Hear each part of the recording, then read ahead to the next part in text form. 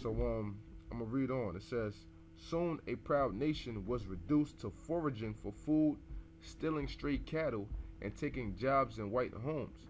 All right. So basically, you made them completely subjects back up under you, even though they were already. But now you brought them even to a lower estate, man. You know. Some scouts left for Mexico with their families, and their places were taken by eager Afro Americans, Mexican Seminoles, and other red and black Indians. All right. So um, you know, basically during that whole time, that that just shows you, you know. And um, I want to grab a scripture, um, you know, real quick based upon that, man. All right. And um, what I got here is uh, yeah, uh, Wisdom of Solomon, chapter five and one. It says, "Then shall the righteous man stand in great boldness before the face of such as have afflicted him." and made no account of his labors. So that goes into the account when John Horse was trying to get that um that, that that treaty to go through and get the um the copy for it. And you know, and he went to the War Department and they said they have no no record of anything, man. You know? Alright? So um I'm gonna go on and read a little more to read a, another portion to show you how these devils even further did, alright? Alright, so um this is basically at the end of um, you know um, the Lieutenant Bullis's um, you know service during the army. All right. So um, I'm gonna read a little account of this.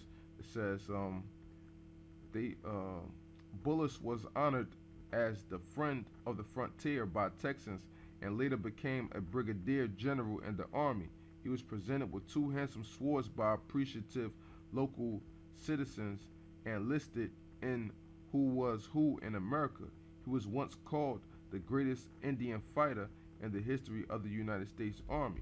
All right.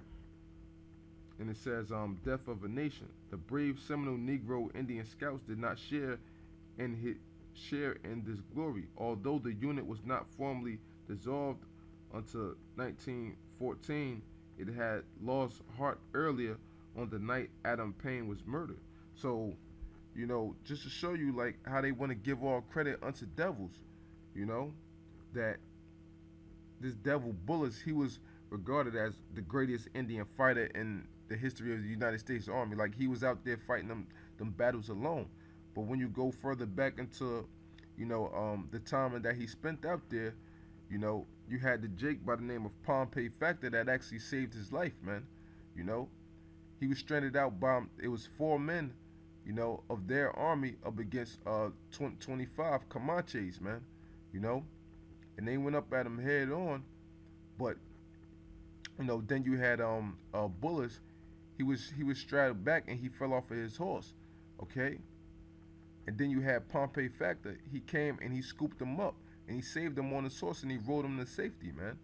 But they want to give this credit to this devil Bullis, you know, as he was the great great American hero. But it was Jake who was the form of all things who always wound up pulling through, man. You know? It's Jake who had that top courage and that top fighting skill, man. Not this damn devil, man. All right? So, um, just to further on, more read uh, of the point of this, um, uh, Jake uh, Pompey Factor and a little history on beyond this, all right? It says, uh, for many huddling in the temporary village outside Fort Clark the last straw came during the early morning of a New Year's Eve dance in 1877. A local sheriff and his deputies rode out to arrest Adam Payne in connection with the murder of a black soldier. Payne had a reputation as a tough man and had earned a Congressional Medal of Honor. The sheriff may have planned his next move or just lost his courage. At any rate, he did not arrest Payne, but blasted him from behind with a shotgun at such close range that Payne's clothes caught fire. So that, that, that showed you the cowardice of a devil. You don't want to face a Jake, know what I'm saying, dead on, but you want to shoot him in his back, man. You know? That's the snake that he is.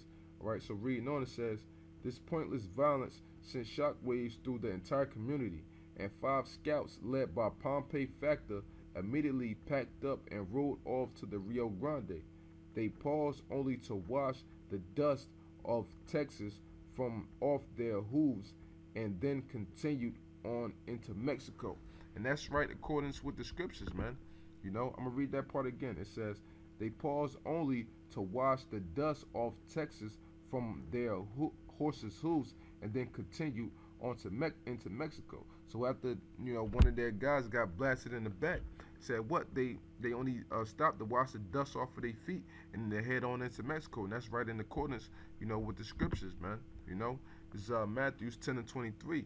But when they persecute you in a city, flee ye into another. For verily I say unto you, ye shall not have gone over the cities of Israel till the Son of Man be come.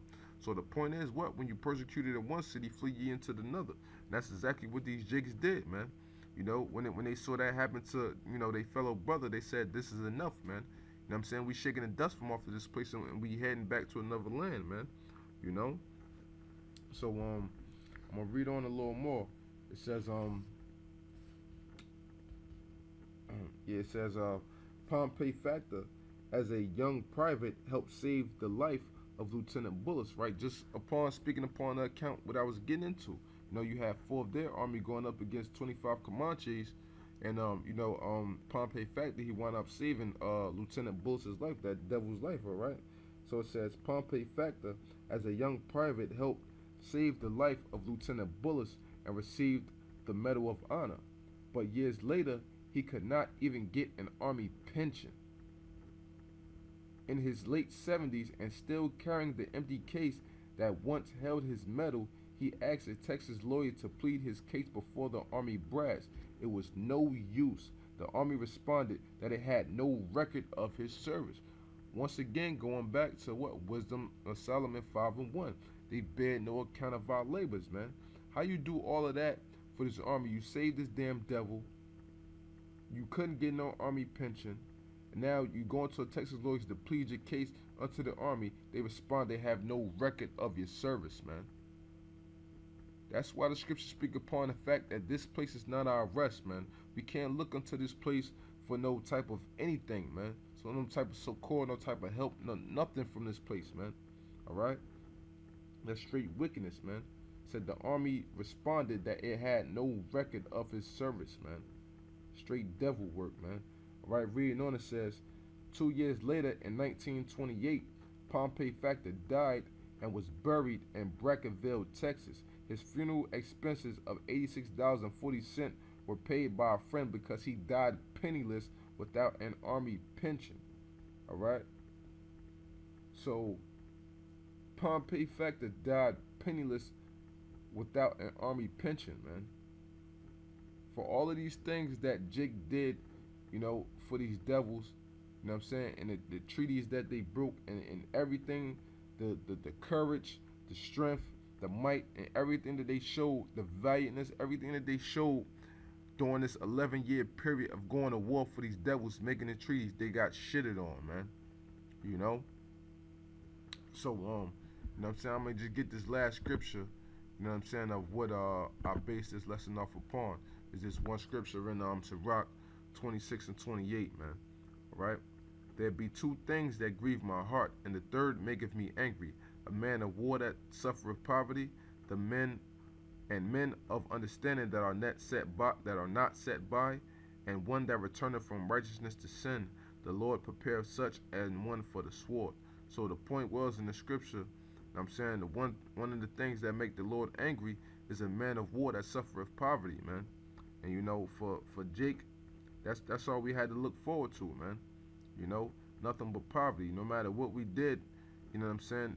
You know, Jake tried to sell the way, try to seek a way out, but that just furthermore shows the point that this is not our rest, man.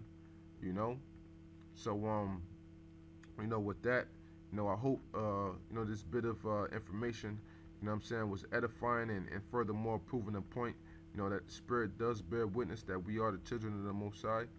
You know what I'm saying? And showing more reverence of why these devils have to pay and why we look for a, a better and a more eternal rest, which is the kingdom. All right? So, um, you know, with that, I'd like to give all praises, honor, and glory to Yahweh, Ba'ashim Yahushai, double honors to the apostles and the elders of Great Millstone, and shalom to Lekman out there doing this work of faith and labor of love and true sincerity. Shalom and death to America. In my life. I've been wondering